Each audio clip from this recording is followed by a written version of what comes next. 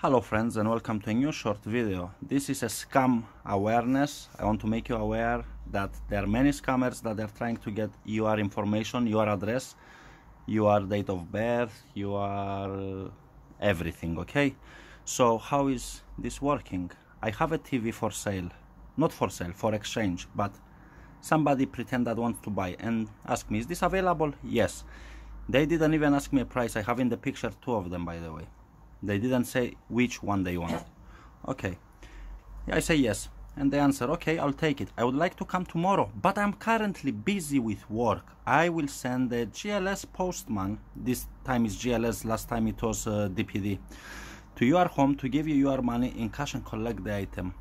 If I carry on to answer, they'll say, yes, I will need your details, your address, name, and blah, blah, blah, blah. So all this is a scam. Guys, don't give out your personal information whenever you'll see this on Facebook, if you're selling something or um, in cryptocurrency, if somebody is trying to contact you, it's a scam.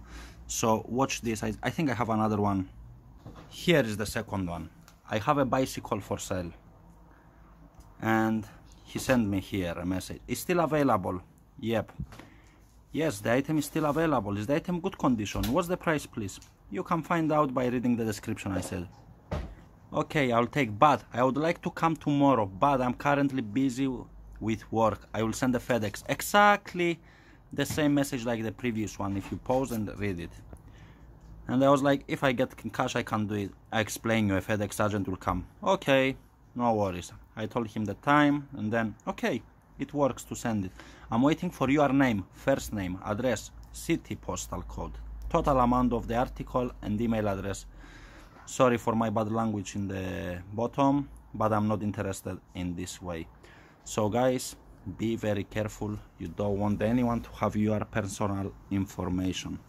Same in real life same in crypto same if somebody calls you and asks you to give some details. Be very careful. Thank you very much guys. Have a good one